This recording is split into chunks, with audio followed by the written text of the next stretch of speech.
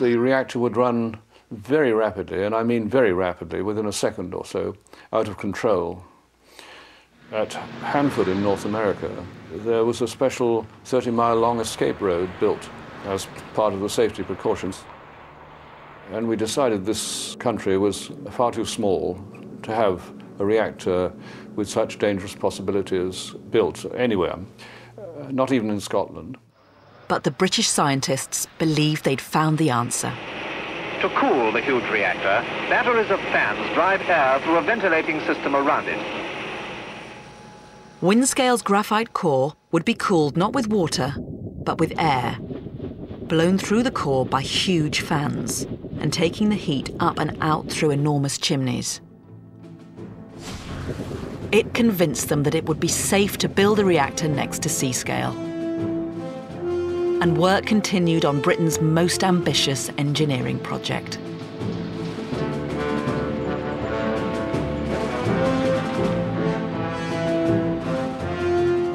But the reactor was not being built as Christopher Hinton wanted. He faced a deadline imposed on him by politicians.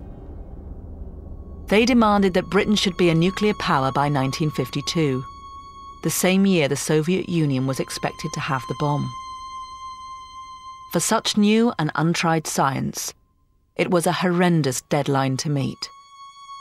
The development work that should have been done at Harwell was all cut short by the extreme political and military pressure on them, the, the very, very tight deadlines that were given.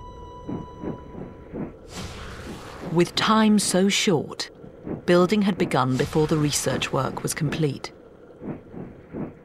A year into construction, a scientist at Harwell made a devastating discovery. Construction was well on the way, and the air was going to be discharged up at chimneys, 400 feet high. I think in the early summer of uh, 1948, uh, I doodled uh, on a piece of paper about asking myself what would happen if one uranium uh, rod were to catch fire. And um, I didn't much like the answer. Price realized that if an aluminium cartridge burst, the uranium could burn and the powerful air cooling system would blow radioactive dust up the chimney. There was nothing to stop radioactivity blowing out over Seascale and beyond. So I went to the next committee uh, meeting and said that I think that it would be desirable to filter the air coming out of the chimney. Uh, and it went down like an absolute lead balloon. The chairman leant back in the chair and said, Don't be so silly, lad. Two tons of air go up chimney every second, can't filter that. And it was considered such a fatuous remark that it doesn't, doesn't even appear in the minutes of the meeting. Many thought filters would be an unnecessary delay.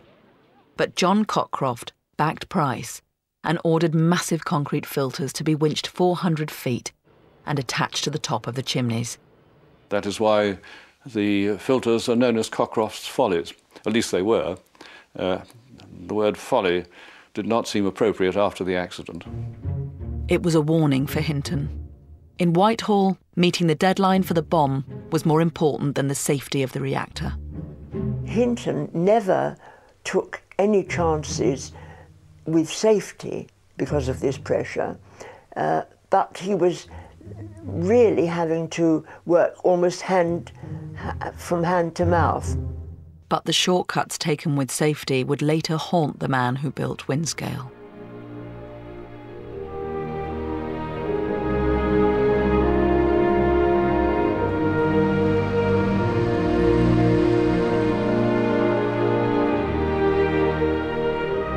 In 1951, after five years of backbreaking work, Windscale was built, just 10 days behind schedule. This is the Windscale reactor, hung about with ladders like Gulliver in Lilliput. Hinton had achieved what many had thought was impossible in such a short time. Windscale is unique. It is science fiction intruding on our sober lives. And it is a very great producer of plutonium. It was true. Windscale could produce plutonium. just not enough for the bomb. It was at the research laboratory at Harwell that scientists realized that the uranium cartridges weren't producing enough plutonium. The only way for Windscale to increase plutonium output was to heat the uranium even more, and the only way to do that was to reduce the amount of aluminium casing around the uranium. The problem was that the cartridges had been manufactured and were already inside the reactor. Then Windscale's Deputy General Manager, Tom Tuohy, came up with an answer. Tom Tuohy was a most impressive character. He was pretty young for his senior post. He uh, largely ran it, I think, and he was extremely dominant. He'd got a finger on every part of the of the site and was very full of energy. Uh, he was a lively, handsome man, sort of bold features and a mass of gorgeous auburn hair flowing back from his forehead. Tuohy simply took the cartridges out and trimmed off some of the aluminium, the fins. This meant unloading the 102 tons, clipping one sixth of an inch of aluminium off every fin, of which there were 14 on each of 36,000 fuel elements, which meant we had to do about a half a million fins. And one of our engineers devised a, a, a little machine whereby you could place this on a rack and turn it round and you made a stroke like that, clipped your fin, turned it round, clipped another, turned it round, clipped another, and we managed to get the whole half million fins off, as I say, in, in three weeks. It was a classic case of British make do and mend but it meant one of Windscale's safety features had been removed. Opinion at the reactor was split. Well, there were two schools of thought. They were proud of the fact that they were producing plutonium at, the, at whatever, at the faster rate maybe, as, or, or meeting the targets that had been set for them and so on and so on, and they were doing it in a, in definitely as they saw it, there was a, there was a national interest. Gung-ho queen and country stuff, you know. There was another very significant group who were extremely concerned about the attitude towards the um, possible dangers from radiation and so on and so on. The warnings were ignored.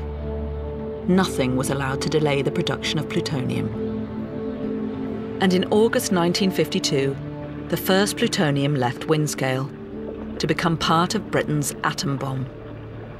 I broke down the reaction vessel myself personally, opened it up, scrambled around amongst calcium fluoride to see if I could find anything.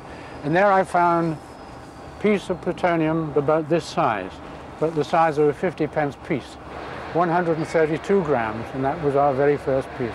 So all this vast industrial complex and six years of activity came down to 132 grams of plutonium. Hinton had done his job. Now it was the turn of William Penney.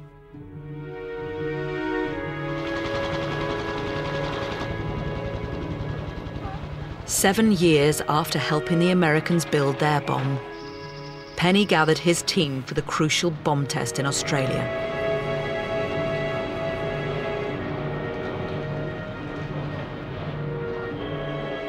The pressure was on Penney. Britain had a new Prime Minister, the man who had invented the phrase special relationship Churchill was determined that Penney's atom bomb would restore Britain's standing with the Americans.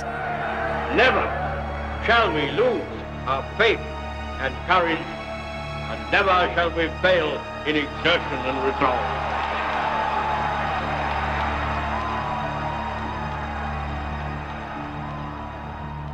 And the word went round that on the permanent secretary's desk in the Ministry of Supply, there were two forms.